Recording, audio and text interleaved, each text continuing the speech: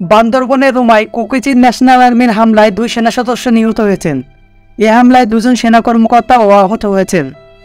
আইএসপিআরের বিজ্ঞপ্তিতে বলা হয়, গোয়েন্দা তথ্যের ভিত্তিতে বান্দরবনের রুমা উপজেলায় সুংসুংপাড়া সেনা ক্যাম্পের আওতাধীন জালুনছড়ি পাড়ায় সশস্ত্র সন্ত্রাসীদের আস্তানার খবর পাওয়া যায়।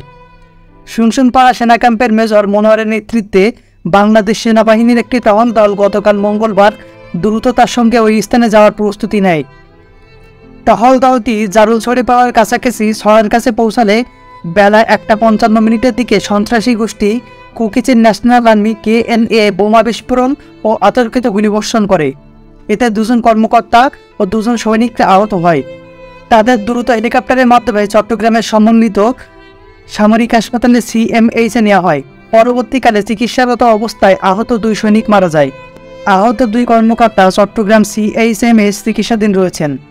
এটা আরও বলা হয়, সাম্প্রতিক সময়ে কেএনএ চট্টগ্রামের রুমা, রুয়াংছড়ি ও থানচি উপজেলার গভীর অরণ্যে সন্ত্রাসী কর্মকাণ্ডের মাধ্যমে অরাজক পরিবেশ সৃষ্টি করার চেষ্টা করছে।